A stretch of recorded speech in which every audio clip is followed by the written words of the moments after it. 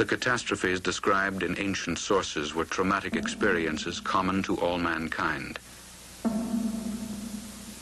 Purged from conscious memory, these records are now interpreted as allegories, metaphors, and the trauma has been submerged in the unconscious. Collective amnesia. A revolutionary theory of the universe based on the records of the past has challenged the fundamental beliefs of modern science for more than two decades. Today, the unexpected findings of space explorations have confirmed many of the predictions of this theory. Mountains were born and mountains collapsed. Land and sea changed places. Great streams of lava flowed. The sea boiled and evaporated. Such were the scenes of unimaginable violence during the times of global catastrophe, as recorded by the ancients. Here in the New York Herald Tribune, uh, Explosion in Science, the artist's conception of what, uh, of what happened when the uh, uh heavens burst. Um, what happened uh, during the 1500 BC uh, upheaval which uh, we read about in the Bible as the exodus of the Israelites from Egypt and the uh, phenomena or upheaval that uh, that accompanied that. And this is the artist's conception of what happened in Palestine and Mexico and China.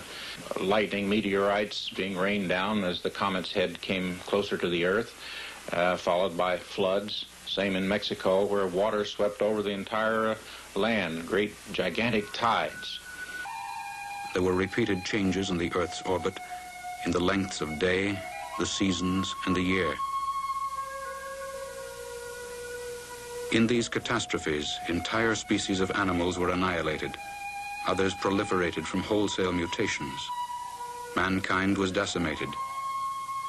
Civilizations destroyed. The papyrus of Ipuwer synchronized biblical and Egyptian events and led to a reconstruction of ancient history. Many questions debated for centuries found an answer. In the Bible, the identity of the beautiful Queen of Sheba at the court of Solomon was unknown. In Egyptian records, the land of Punt, visited by Queen Hatshepsut, could not be determined. In Velikovsky's reconstruction, it is clear that Punt is the land of Solomon and Hatshepsut is the Queen of Sheba.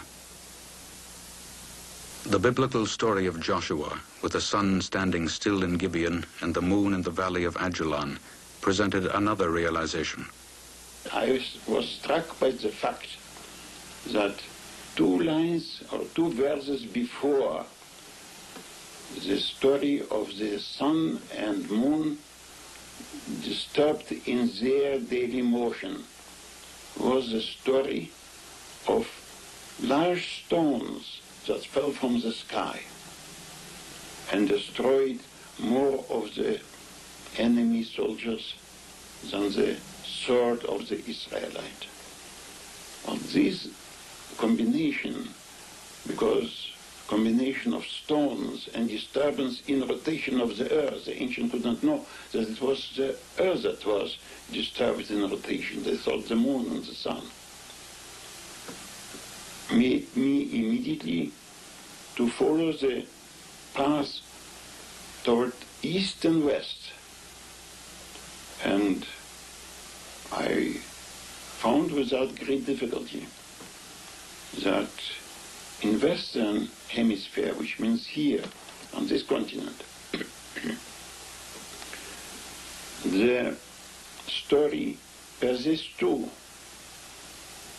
The story persists among the Redskins, it persisted among the Mayas, at the time when the continent was first conquered, the Mexico part of it, by the Spaniards, namely that the sun was rising just over the eastern horizon when it dropped back and came a little up again and stand there without motion and all the forests burned. Again, the Redskin could not know about the heat resulting from disturbance in the Earth's rotation.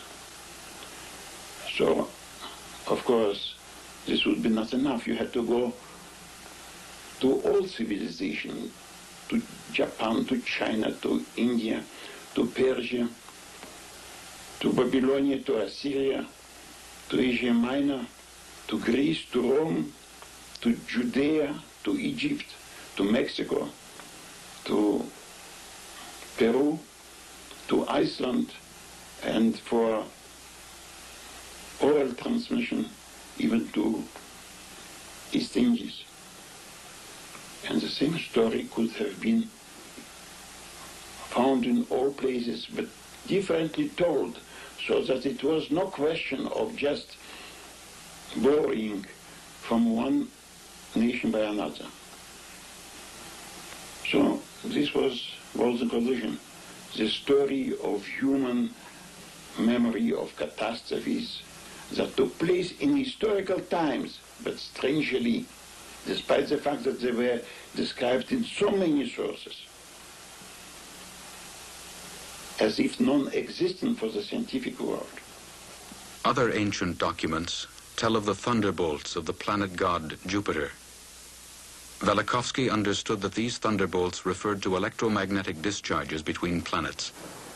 This led to his claim that radio noises must emanate from Jupiter. In 1955, radio noises from Jupiter were discovered.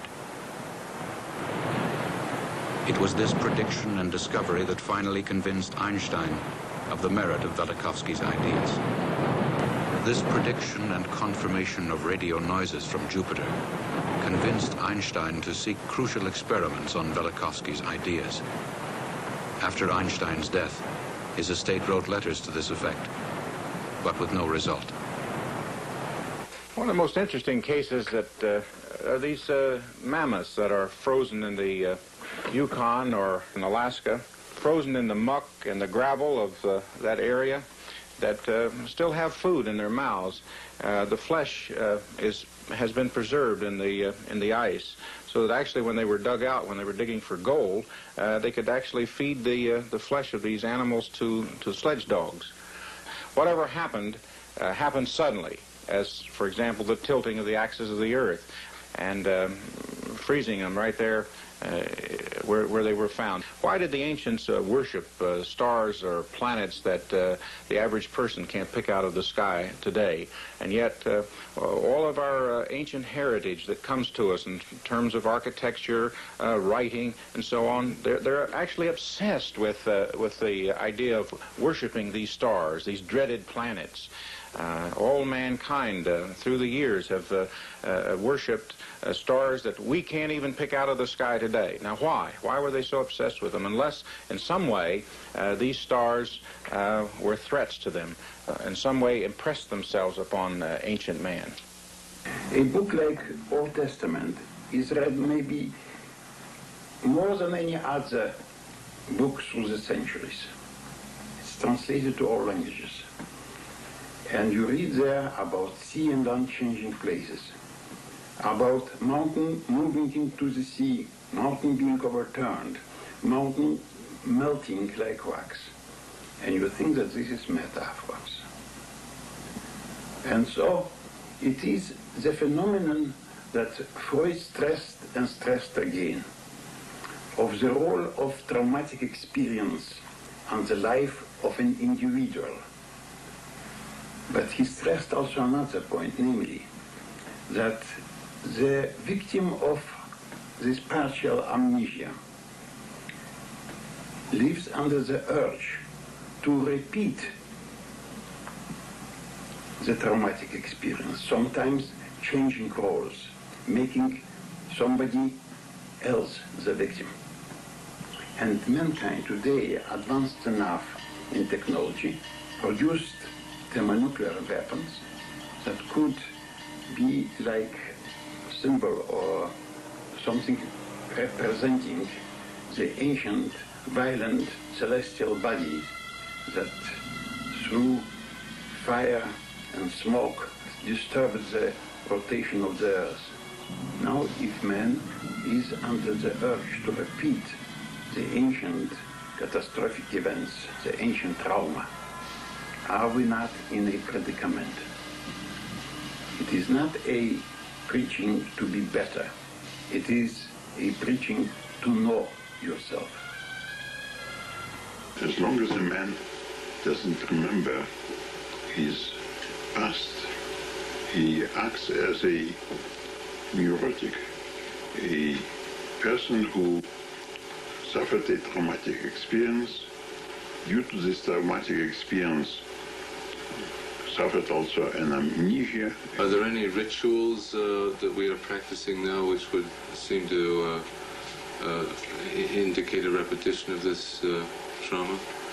Not only any ritual, almost all rituals in religions, in various religions, all our observation in some way go back to the astral religion, to the mm, beginnings that are rooted in the catastrophic events of the past.